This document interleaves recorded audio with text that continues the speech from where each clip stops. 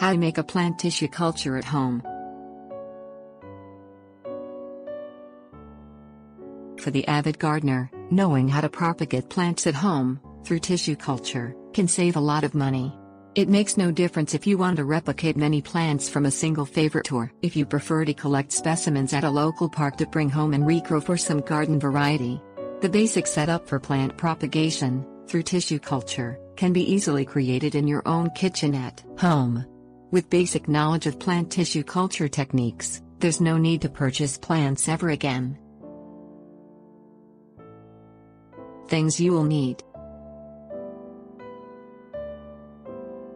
Nitrile or latex gloves, quart sized jar, bleach, distilled water, Murashige and Skoog MS medium in single use packets, sugar, benzylaminopurine BAP, plant preservative mixture ppm, baking soda, vinegar, pH papers, tablespoon, 4 ounce jars 20, microwave oven, agar powder, rubber bands 20, plastic wrap, sterile razor blade or utility knife, rubbing alcohol, spray bottle, medium glass jar, sterile tweezers, small plate. Put on a pair of nitrile or latex gloves. Fill a spray bottle 3 quarters full with rubbing alcohol and top it off with distilled water. Spray the counter on which you plan to work. Also spray your gloves and allow them to air dry. Soak a quart-sized jar in 10% bleach for 10 minutes then rinse it well in distilled water. Prepare the plant medium in the sterile jar. Combine 1 packet of MS medium, 2 tablespoons of sugar, 1 mg BAP, 1 ml ppm and half quart of distilled water. Check the pH of the solution with pH papers. Adjust the pH to between 5.5 and 6.0, using baking soda to bring the pH up or vinegar to bring it down. Add distilled water until the container reaches the full level. Add 3 tablespoons of the prepared medium to each 4 ounce jar, for a total of 20 jars. Add a pinch of agar to each jar. Cover each of the jars in plastic wrap, seal them with rubber bands then poke ventilation holes in the plastic wrap with a sterile razor blade or utility knife.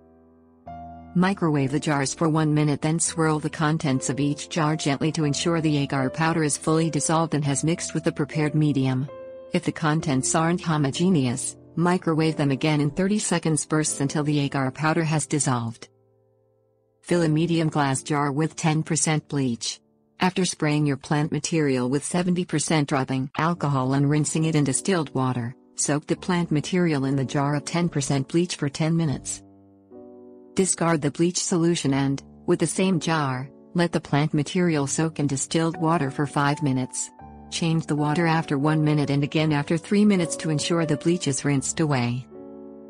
Rinse a small plate with 70% rubbing alcohol and allow it to air dry. Move the plant material from the water rinse to the sterile plate with sterile tweezers then cut the plant material into small pieces with the tweezers and the sterile razor blade or utility knife. Place a piece of plant material in each of the small jars with the agar plant medium. Leave the jars in a greenhouse or under a growth light for 16 hours each day. After 4 to 5 weeks, small shoots will sprout from the plant material.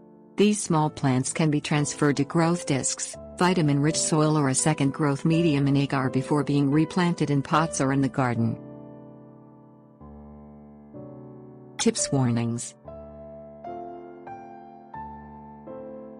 Although ppm is a biocide and helps prevent contamination growth, the conditions in the agar plant medium are created for plants to grow easily.